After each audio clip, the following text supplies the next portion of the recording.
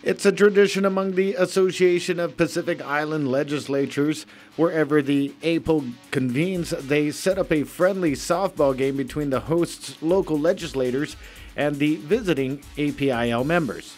Yesterday evening, members of the Guam legislature and the APIL continued the tradition at the Agana Heights Field.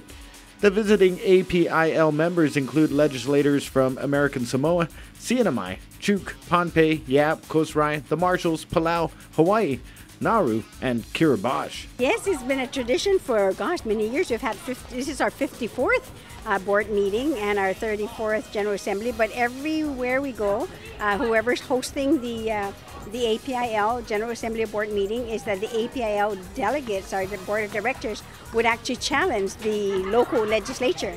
So, so today we're, we're challenging the Guam legislature.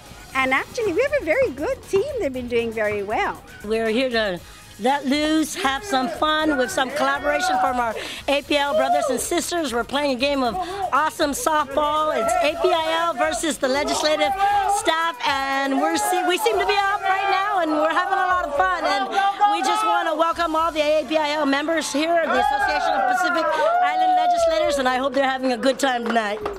The Guam legislature came out with the win, beating the APIL 7 to 2.